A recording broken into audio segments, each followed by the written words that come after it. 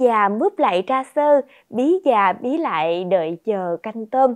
Mấy trái bí này nè, mà nấu canh với tôm anh Thiện thì là ngon hết sảy luôn. Nhưng mà sẵn đây thì à, tôi muốn giới thiệu đến anh Thiện một giống bí đặc sản của tỉnh Bắc Cạn. Giống này thì có mùi thơm rất là lạ. Ừ, nghe là hấp dẫn quá trời luôn rồi đó. Tôi thì cũng có nghe sơ về giống bí này. Lý do chúng có mùi thơm là bởi vì nó có một cái lớp phấn trắng ở trên trái. Và chính vì sự độc lạ nên ngành nông nghiệp tỉnh cũng tính đến chuyện xa hơn, đó là phục trắng, bảo tồn và phát triển hơn nữa thương hiệu. Bản tin kinh tế nông nghiệp của truyền hình Hậu Giang hôm nay còn nhiều nội dung đáng chú ý. Thu tiền tỷ nhờ nuôi cá vì đam mê. Nuôi ốc nhồi thổi luồng gió mới cho nông nghiệp nơi địa đầu tổ quốc. Đưa cỏ bàn nơi trốn phèn xuất ngoại, nông dân miền Tây bỏ túi nửa tỷ đồng mỗi năm.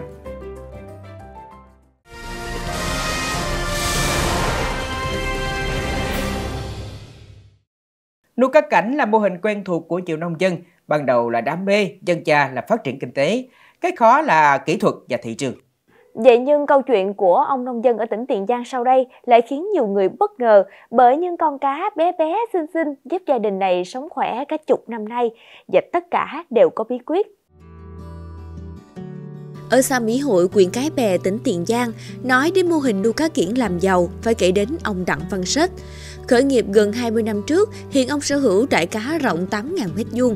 Tại đây có hơn 30 loại, nhưng chủ lực là cá ba đuôi đầu lân đang rất được ưa chuộng. Theo ông Sết, muốn nuôi cá kiển làm giàu phải nhanh nhạy, chạy theo xu hướng, phải cập nhật liên tục những giống cá mới. Hiện mỗi tháng ông cung cấp cho thị trường thành phố Hồ Chí Minh hơn 20.000 con cá kiển, tùy theo kích cỡ và giống, giá bán từ 5.000 đến 200.000 đồng một con, doanh thu khoảng 1 tỷ đồng mỗi năm. Xã Mỹ Hội hiện có hơn 40 hecta diện tích nuôi cá kiển với cả trăm hộ tham gia. Nhiều hộ có thu nhập hàng trăm triệu đồng mỗi năm. Cách đây 8 năm, xã thành lập tổ hợp tác nuôi cá kiển, hàng năm mở các lớp tập huấn cho bà con từ xử lý ao nuôi, kỹ thuật chăm sóc cho đến tìm đầu ra. Là họ nhà chuột, thức ăn ưa thích của chúng là tre trúc, vậy nên còn được gọi là chuột tre. Mà đây là đặc sản núi rừng giàu tận nhà hàng nhanh thiện. Và nắm bắt được nhu cầu thị trường, nông dân ở tỉnh Lai Châu sau đây cũng chọn dúi để nuôi. Hỏi về bí quyết, chị nói tất cả là bằng sự kiên trì. Chị Phình Thị Mỹ bén duyên với nghề nuôi chuối từ 5 năm trước. Ban đầu do chưa có chịu kinh nghiệm nên chị chỉ nhập 30 cặp vú giống về nuôi. Sau một thời gian đang phát triển tốt, mỗi đợt xuất bán lợi cao, chị vay mượn thêm của họ hàng, mua thêm 50 con đực và 250 con cái. Theo chị Mỹ, mặc dù kỹ thuật khá đơn giản nhưng cần phải thực sự chuyên tâm, dành nhiều thời gian chăm sóc. Sau gần 5 năm khởi nghiệp, vượt qua nhiều thử thách, đến nay trang trại của chị Mỹ có trên 600 con dúi sinh sản. Mỗi năm chị xuất bán 2 lần, mỗi lần từ 150 cho đến 200 cặp. Với giá bán từ 1 triệu 6 cho đến 2 triệu đồng một cặp, chị thu lời trên 150 triệu đồng. Dự định sắp tới, chị sẽ mở rộng quy mô, tạo thêm việc làm cho bà con. Chị cũng sẵn sàng chia sẻ kinh nghiệm và hướng dẫn kỹ thuật về quy trình nuôi cho những người có nhu cầu. Không may mắn như chị Mỹ, anh Nguyễn Văn Thơm ở huyện Vị Xuyên, tỉnh Hà Giang phải trầy trật nhiều bận mới thành công được với mô hình nuôi ốc nhồi hay còn gọi là ốc bươu đen. Khi việc nuôi ốc ổn định, anh quyết định đầu tư nuôi thêm trồng nhung đen và trồng hoa. Nguồn thu bất ngờ từ mô hình như mang đến luồng gió mới trong sản xuất nông nghiệp ở nơi địa đầu tổ quốc. 6 năm trước, được người quen giới thiệu, anh Thơm chủ động học hỏi và mua ốc nhồi giống về nuôi thử nghiệm. Thời gian đầu do chưa có kinh nghiệm nên ốc chết gần hết. Qua bao thăng trầm, đến nay mô hình đi vào ổn định với tổng diện tích trên 300 m2. Giá bán 80.000 đồng một ký ốc thương phẩm, 1 triệu 800 ngàn đồng một ký trứng ốc. Mỗi vụ gia đình anh thu về từ 40 triệu đồng trở lên. Thành công với mô hình nuôi ốc nhồi, vừa qua anh Thơm còn bén duyên chế loài trồn. Tận dụng diện tích 30 m vuông từ nhà bếp cũ, anh nuôi thêm trồn dung đen và trồn hoa. Đây là giống khá mới và lạ tại Hà Giang. Hiện chỉ cho bán 150.000 đồng đến 250.000 đồng một con giống. Sau nửa năm, gia đình anh thu về 30 triệu đồng. Mạnh dạng tiên phong phát triển những vật nuôi mới lạ, anh Thơm cải thiện được kinh tế gia đình rõ rệt với thu nhập hơn 100 triệu đồng mỗi năm chồng nấu cháo le le, nấu canh hoa lý, nấu chè, hột sen. Nói về đặc sản thì chẳng thể nào thiếu le le được. Từ loài hoang dã, hiện có nhiều nông dân mạnh dạn chọn chúng để nuôi, nhưng cái khó chính là kỹ thuật. Le le nuôi được từ 3 tháng trở lên là có thể xuất bán. Nghe nói dễ vậy chứ cũng khó trần ai, mà thua keo này lại bài keo khác, cuối cùng trái ngọt cũng được hái về. Anh Phan Văn Sơn ở huyện Tam Nông là một trong những nông dân tiên phong ở Đồng Tháp thực hiện mô hình nuôi le le, đem lại nguồn thu nhập ổn định cho gia đình. Anh chia sẻ trong một lần xem TV thấy người dân tỉnh Bạc Liêu thuần dưỡng và nuôi le le dịch trời có lời.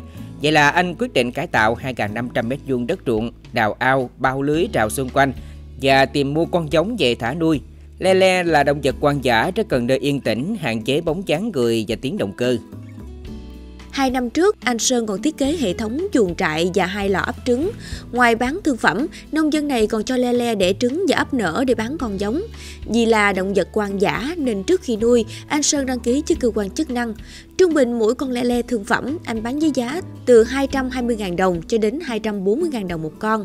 Từ lúc nuôi đến nay, anh xuất bán được nhiều đợt, chủ yếu là cung cấp cho các nhà hàng, quán ăn trong tỉnh và thành phố Hồ Chí Minh.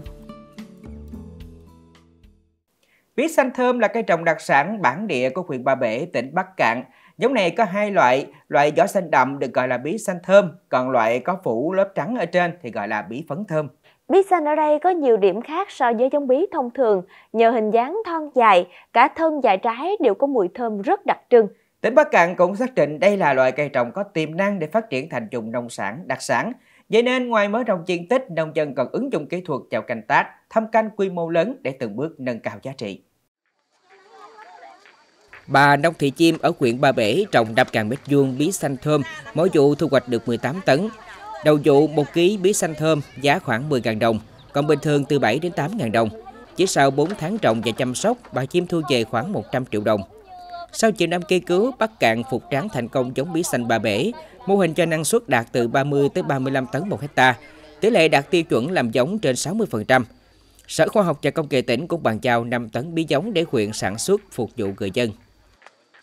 Trên địa bàn huyện Ba Bể cũng có 3 hợp tác xã liên kết với các nông hộ để bao tiêu bí xanh thơm.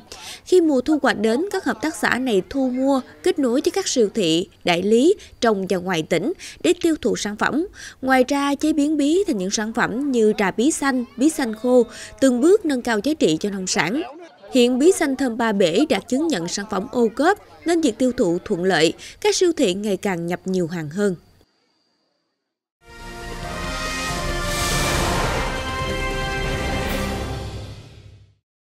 Cỏ bàn là loại thân cỏ mình tròn, rỗng ruột, to gần bằng đầu đũa, cao từ 1m3 tới tầm 2m. Nhìn xa xa thì chúng giống như là cây lát hoặc là cỏ năng.